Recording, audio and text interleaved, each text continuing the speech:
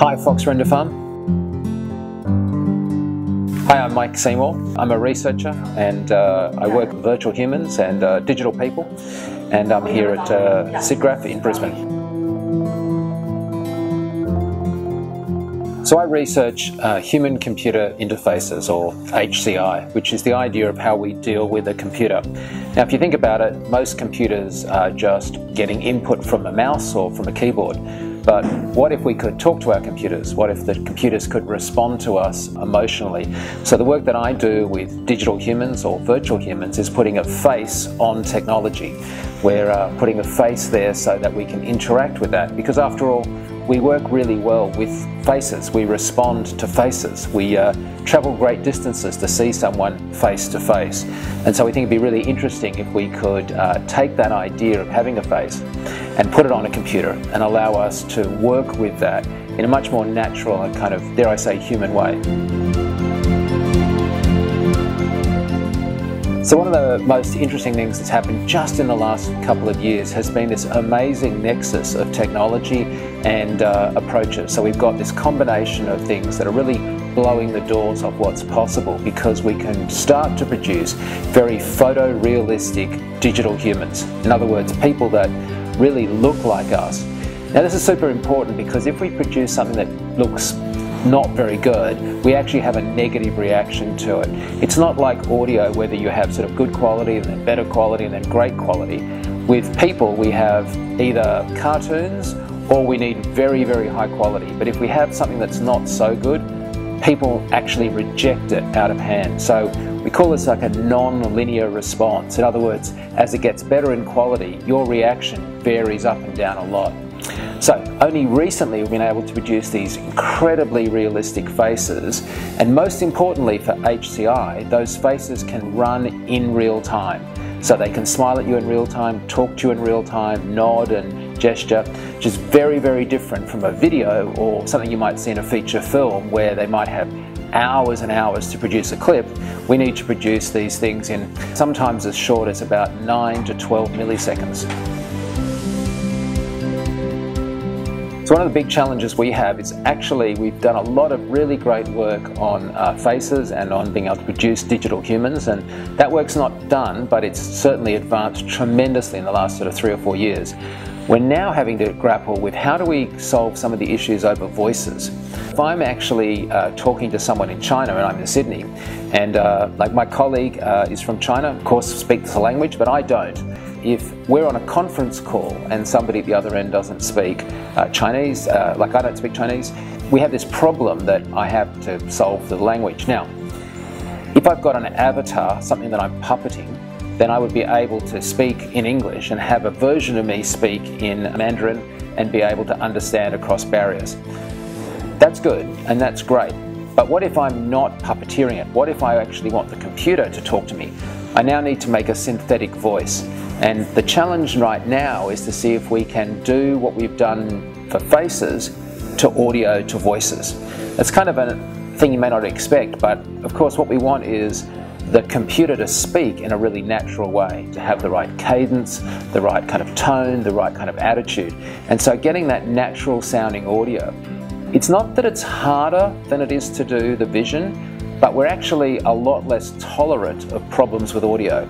If you're watching a movie and the vision isn't quite right, but you can hear everything, you'll be really happy. But if you're in a situation that the vision looked great, but you couldn't hear what the actors were saying, you'd switch the channel or, or do something else.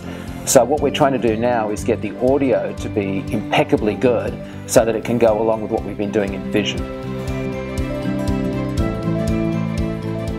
The astounding thing is that we actually have now more compute power than we need to do some of the functions we want to do with the computer. We can afford to spend some of that compute power on producing these amazingly interactive user interfaces. That's part one, and that's obviously been influenced enormously by GPUs and just uh, and, uh, much faster graphics. And on top of that, we've had a new approach to how to use the graphics, which is AI or deep learning. So now we have this second part of the jigsaw puzzle, which allows us to do incredibly clever things by letting the machine learn my face and then synthesize a plausible version of my face, again, in real time because of that GPU.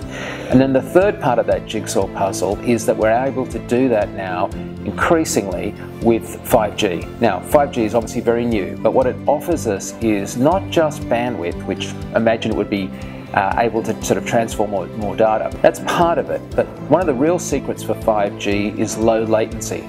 So in fact, we can have interactivity.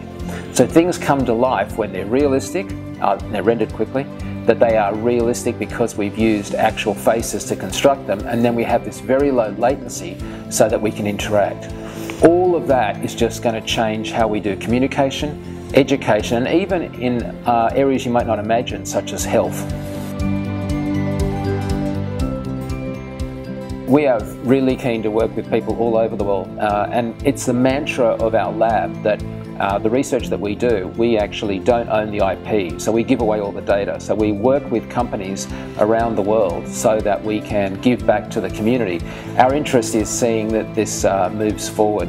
And one of the great things about rendering on the cloud and the idea of being able to have really good infrastructure that's on a global basis is that with high-speed communications and with 5G, we're increasingly seeing this being something that we can adopt into things that general people can use. So at the moment we've got a history where like I might be using a render farm if I'm a really big company, but what we're seeing now is this move to the importance of being able to do things that can be democratized. And I think we're going to see this vast explosion where we want to have quite a lot of power on our uh, personal device, but actually tapping into a, a, broader deep learning AI kind of environment to provide this great interactivity. And as that happens with low latency and the kind of infrastructure we're seeing, the ability to uh, scale up is just going to produce sensational results. So a lot of submissions to Real-Time Live this year, but Real-Time Live is a little different from other things because you need to actually mount a performance, as it were. So it's a bit like volunteering for a stage show. Uh, if I'm coming here to do a talk, well, I bring my PowerPoint on my laptop. But if I'm coming here to do real-time live, uh, like the uh, Matt AI project or the uh, number of the other projects that are being, being, seen, you actually have to bring a whole lot of computers, a whole lot of gear, and actually mount uh, a live presentation. You have nine minutes to uh, sort of wow the audience, and of course it's very unforgiving because in nine minutes you can't afford to switch the computer off and start again. So we've been really impressed with the variety of projects and the variety of applications that they're addressing. So we have teams that are addressing making digital characters talk, which is one of my favorites, I love that one. But we've also got ones where people are looking at how to use uh, VR and real-time graphics for science research, for communication, uh, as well as just artistic pieces that are very much just producing a really amazing show in their own right. I was in the visual effects industry for many years and uh, got nominated for Emmys and, and AFIs, and that was all great. I enjoyed that, and it was terrific work. What I decided a little while ago, having done quite a lot of uh, research and teaching, and increasingly doing consulting work to companies around the world, we still do. I thought it'd be really interesting to up that research component and get more involved with hardcore research. I'm still consulting. I do work for uh, major Hollywood studios um, and I enjoy that work tremendously. But what I'm interested in is can we, in addition to that work in the entertainment industry, take that tech and apply it to these other areas? So, for example, my uh, research area at the moment is seeing if we can't take some of this digital human technology and use it for stroke victims. So people that have had stroke have trouble forming short-term memories. They're very good with long-term memories, but they literally find everything that's going on around them today a little unfamiliar and disconcerting. There's an extraordinary high level of stroke in the world. A lot of people have strokes, and quite a high percentage are actually under the age of 65 and are wanting to still continue to contribute and, and uh, work because they're of that younger age.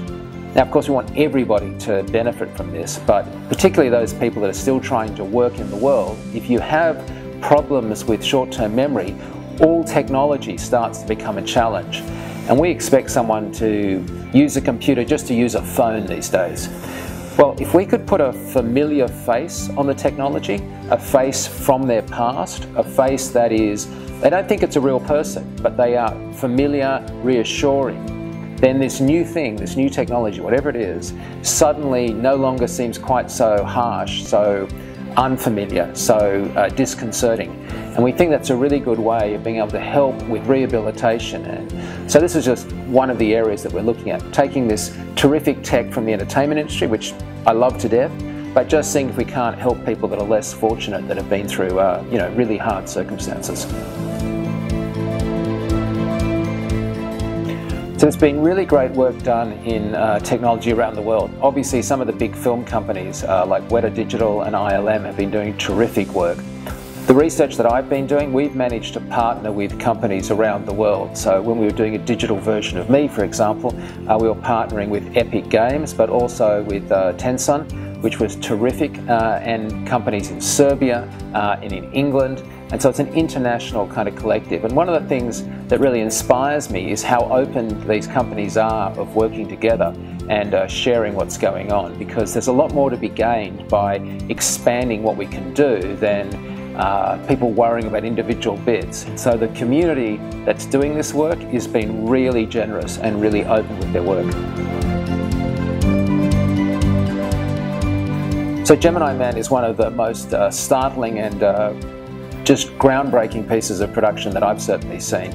I was really impressed by uh, a number of things. Firstly, they were doing work at Weta Digital where really we sort of knew the character very well at both ages. We know Will Smith as he is today, but we knew Will Smith earlier in his career. We know from our own research that the more familiar you are with a face, the harsher you are.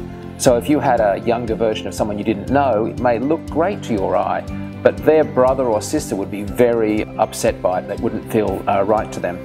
So what we're trying to see is if companies like Weta can't produce very familiar faces in a way that we find acceptable, reassuring, entertaining, and I think they've really done that with Gemini Man. The second thing that really impressed me is that in that film, while it's an action film, there are a lot of very sort of slower emotional scenes where there's really nowhere to hide. The young Will Smith is on screen and the camera isn't flying around. Um, sure, there are bike chases, but there are other scenes where he's really acting. And to get that so that the audience can buy into that performance, I think is terrific. I really applaud the work that the team over at Weta Digital have done. It's, it's absolutely world-breaking. I think one of the things that I've been uh, really happy about is to how internationally uh, the community has come together. There are teams now that have got like sort of pockets of excellence. Um, there's a couple of teams in China that are just spectacularly good. Um, and obviously what we've seen with the work in China, and I've certainly lectured up in China and uh, visited many times, is we've got a real uh, depth of both technical expertise and creativity. So it's really great to see the infrastructure being built up, things like the render farms and stuff, so that they can provide that technical support that will match the creativity because I think that's been really good. Now, there's a team in, uh, two teams in China I can think of. There's a team in Europe, a team in New Zealand, a team in Serbia, uh, and in, in London and of course America. And so what's great is to see that this is a very balanced international effort. Uh, and I love the fact that here at SIGGRAPH Asia we've got all of these sort of teams coming and presenting their work and sharing things because as I said earlier there's so much to be gained by people cooperating and working collaboratively together and from all my years in the film industry, you know, it's a thousand people that do the visual effects on a film. And so you need this great collaboration of artists, this great infrastructure from companies supporting that. And then of course you need to have people willing to be open and share their ideas as they're doing here at SIGGRAPH Asia. So it's really great.